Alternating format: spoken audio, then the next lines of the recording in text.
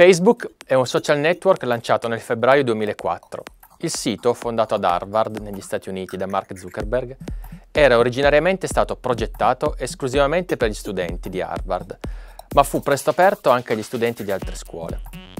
Oggi Facebook è il secondo sito più visitato al mondo dopo Google e ha cambiato profondamente molti aspetti legati alla socializzazione e all'interazione tra individui, sia sul piano privato che quello economico e commerciale. Gli utenti possono accedere al sito previa registrazione gratuita, durante la quale vengono richiesti dati personali come nome, cognome, data di nascita e indirizzo email. Completata la registrazione, gli utenti possono creare un profilo personale, includere altri utenti nella propria rete, aggiungendoli come amici e scambiarsi messaggi anche privati via chat, incluse le notifiche automatiche quando questi aggiornano i propri profili.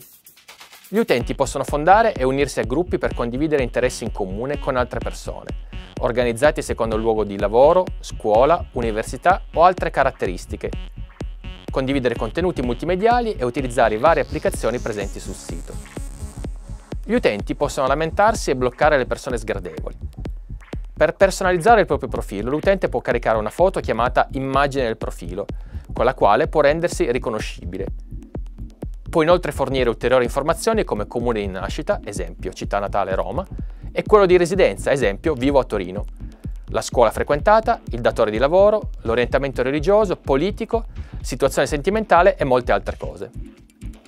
Gli utenti creano profili che spesso contengono fotografie e liste di interessi personali, scambiano messaggi privati o pubblici, possono creare e prendere parte a gruppi in cui si condividono interessi e a pagine legate a cose o persone che gli piacciono.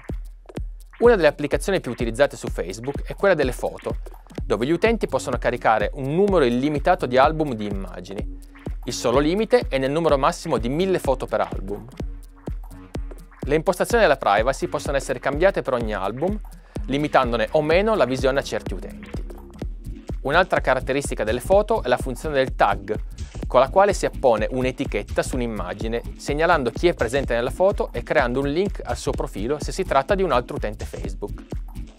In questo modo si crea automaticamente per ogni profilo una raccolta di foto in cui quell'utente è stato taggato. Facebook offre diversi servizi di messaggistica privata. È possibile inviare privatamente dei messaggi ad altri utenti, se le impostazioni della privacy lo consentono. Ad aprile 2008 è stata lanciata l'applicazione Chat per scambiare messaggi in tempo reale con gli amici collegati al loro profilo Facebook. Il 15 novembre 2010 è stato annunciato un nuovo servizio integrato di gestione dei messaggi. Tramite una sola applicazione è ora possibile gestire contemporaneamente messaggi sms, chat, email e normali messaggi e regolare le impostazioni della privacy. La funzione Note, introdotta nell'agosto 2006, permette agli utenti di pubblicare scritti e articoli in maniera simile a un blog. Sono attive le funzioni di tag e di inserimento immagini. Il 21 aprile 2010 è stato lanciato il tasto Mi piace, con il quale gli utenti possono esprimere apprezzamento su dei singoli contenuti. Dall'aprile 2011 la chat è stata arricchita da una funzione per effettuare chiamate vocali, che permette anche di lasciare messaggi in una segreteria vocale. Il 6 luglio 2011 è stato lanciato il servizio di videochiamate che utilizza la tecnologia di Skype.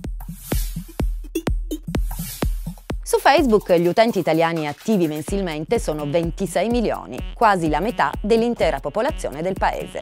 Di questi, 23 milioni si collegano alla piattaforma da mobile. Questo dato ribadisce, se mai ce ne fosse bisogno, l'importanza di un social network come Facebook per chi si occupa di comunicazione nella pubblica amministrazione. Da tempo l'attività di comunicazione delle notizie si sta confrontando con la tendenza delle persone ad accedere alle informazioni quasi solo attraverso i social e in particolare attraverso Facebook.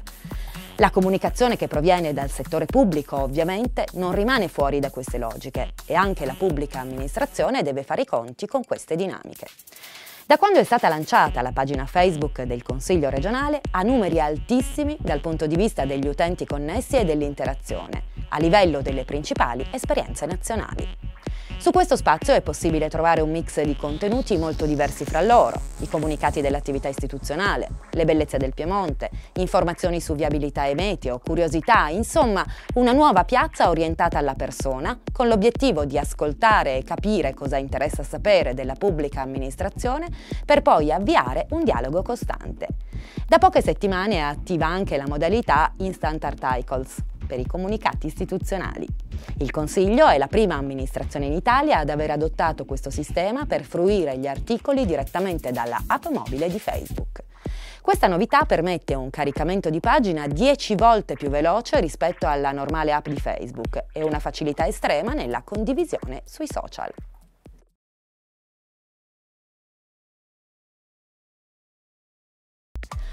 Twitter è un servizio gratuito di social networking e microblogging creato nel marzo del 2006 che fornisce agli utenti attraverso l'omonima piattaforma una pagina personale aggiornabile tramite messaggi di testo con lunghezza massima di 140 caratteri, 120 nel caso si inserisca un link o un'immagine. Gli aggiornamenti di stato possono essere effettuati tramite il sito stesso, via sms, con programmi di messaggistica istantanea, posta elettronica oppure tramite varie applicazioni. Il nome Twitter deriva dal verbo inglese to tweet, che significa cinguettare. Tweet è anche il termine tecnico degli aggiornamenti del servizio. Gli aggiornamenti sono mostrati nella pagina di profilo dell'utente e comunicati agli utenti che si sono registrati per riceverli. È anche possibile limitare la visibilità dei propri messaggi oppure renderli visibili a chiunque. Il servizio è diventato estremamente popolare anche come avversario di Facebook grazie alla semplicità ed immediatezza di utilizzo. Esistono diversi esempi in cui Twitter è stato usato dagli utenti per diffondere notizie come strumento di giornalismo partecipativo. Ad esempio, nel caso del terremoto in Abruzzo del 6 aprile del 2009, gli utenti Twitter hanno segnalato la notizia prima dei media tradizionali. Twitter deve la sua semplicità anche alla mancanza di alcune funzioni tipicamente riscontrabili in social network come Facebook. Su Twitter non esistono amici, ma follower e following, ovvero persone che seguono gli aggiornamenti e persone di cui vengono seguiti gli aggiornamenti. In entrambi i casi non c'è bisogno di ricambiare l'attenzione. Se una persona ha deciso di seguirti e visualizzare i tuoi messaggi, tu non devi per forza ricambiare il favore diventando suo follower e viceversa. Per commentare un post o una foto su Twitter bisogna usare la funzione Rispondi, l'icona della freccia che va verso sinistra, presente sotto a ciascun messaggio. Facendo clic su questo pulsante comparirà in automatico un campo di testo con all'interno una chiocciolina e il nome utente della persona a cui vuoi inviare la risposta. La chiocciolina è il simbolo usato su Twitter per menzionare una persona e conversare con lei. Ad esempio, per menzionare l'utente tizio in un tuo tweet, bisogna scrivere chiocciolina tizio all'interno del messaggio. Anche se tizio non è un follower, ossia non segue i tuoi aggiornamenti, riceverà una notifica della menzione che hai effettuato. Da aprile 2010 Twitter ha introdotto la possibilità di creare tweet sponsorizzati. Per il momento sono disponibili solo a un numero ristretto di account. Il 30 aprile del 2009 Twitter ha cambiato la sua interfaccia web con l'aggiunta di una barra di ricerca e un riassunto di temi di attualità, temi di tendenza, cioè le frasi più comuni che compaiono nel messaggio. Diversamente da Facebook o altri social network, non esiste una chat o l'invio di file allegati e non è consentito inviare messaggi a persone che non siano follower. I messaggi possono essere ricevuti solo se il destinatario è un following del mittente. Invece, per inviare un messaggio diretto è sufficiente avere il destinatario come follower. I messaggi brevi di Twitter possono essere etichettati con l'uso di uno o più hashtag, parole o combinazioni di parole concatenate precedute dal simbolo cancelletto. Etichettando un messaggio con un hashtag si crea un collegamento ipertestuale a tutti i messaggi recenti che citano lo stesso hashtag. Il Consiglio regionale del Piemonte è stata la prima assemblea legislativa italiana a utilizzare in maniera sistematica Twitter come canale di informazione e dialogo con i cittadini. Aperto dal 2011, è stata la prima finestra sull'attività istituzionale, in particolare per il racconto live delle sedute di Consiglio attraverso l'utilizzo dell'hashtag OpenCR Piemonte. Da cronaca di un momento speciale della vita del Consiglio, oggi Twitter è un vero e proprio canale informativo per la cittadinanza, che sulla timeline può trovare diversi aspetti di interesse della comunità piemontese. Quotidianamente vengono postati gli appuntamenti a Palazzo Lascaris, le ultime notizie ANSA, il bollettino meteo elaborato dall'ARPA, le rubriche informative elaborate dal Consiglio. Ma è anche un canale che veicola contenuti più leggeri, consigli di libri, bellezze del Piemonte, appuntamenti del weekend o ricette tipiche. Oggi la nostra nuova frontiera è un coinvolgimento sempre più attivo del cittadino utente attraverso il social network, una sorta di antenna sul territorio che può partecipare in prima persona nella comunicazione, come ad esempio nel caso di emergenze climatiche, calamità naturali, trasporti o eventi di altro genere.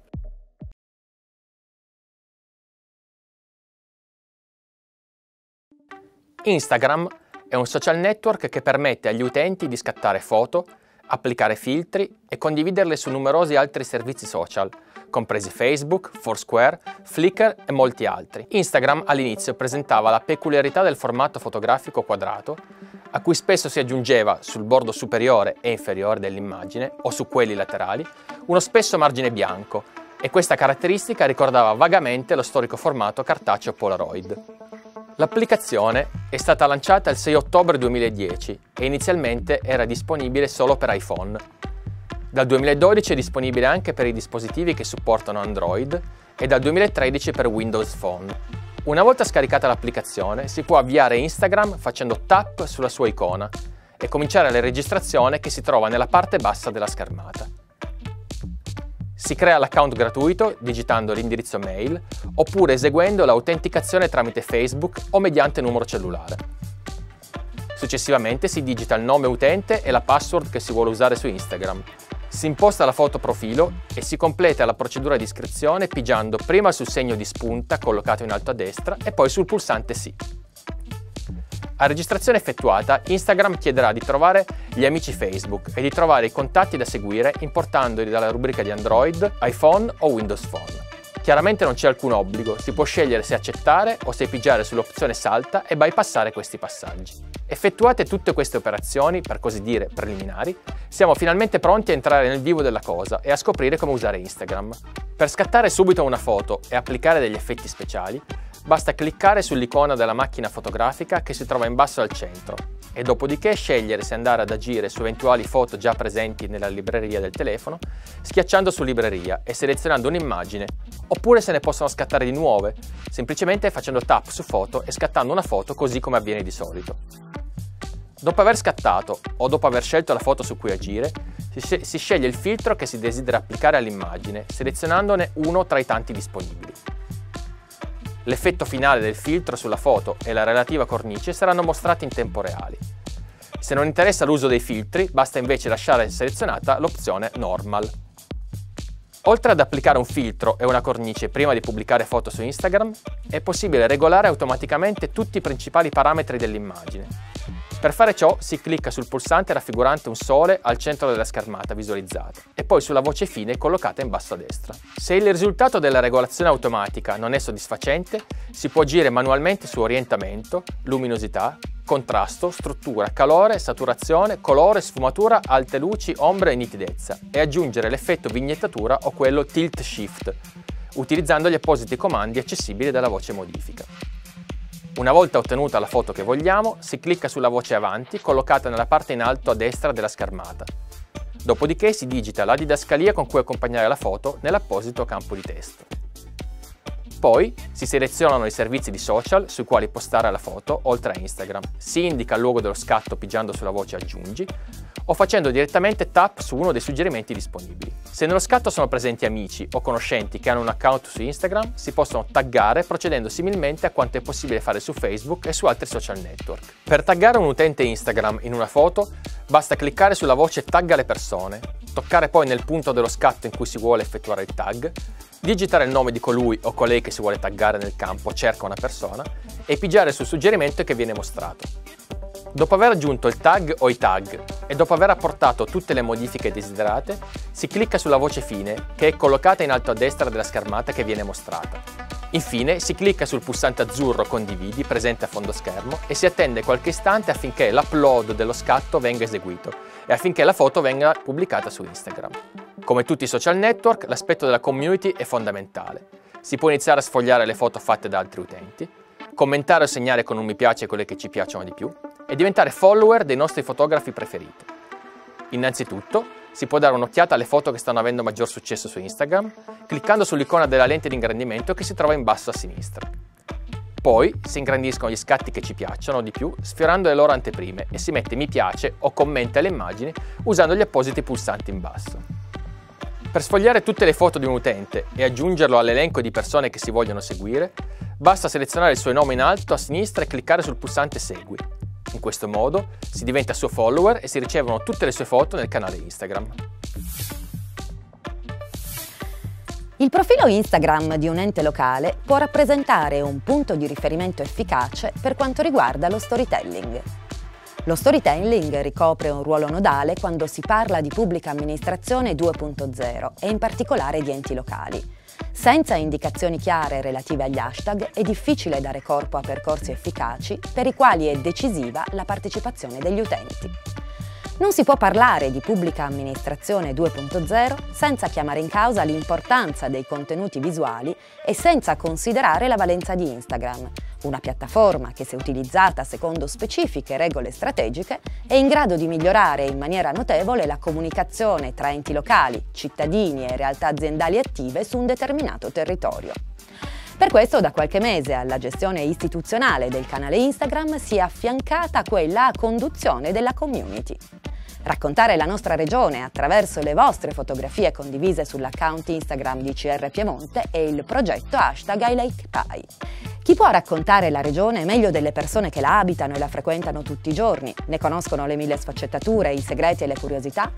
Per questo, grazie alla collaborazione con IG World, ogni settimana un utente diverso gestisce il canale postando le fotografie delle migliori bellezze delle province piemontesi. La presenza su Instagram riveste un ruolo fondamentale. Anche sotto questo punto di vista la pubblica amministrazione può interagire in maniera più diretta con gli utenti e dare corpo a un processo di comunicazione completo, dove anche il target finale viene coinvolto grazie all'efficacia dei contenuti partecipativi e alla cura delle leve di engagement.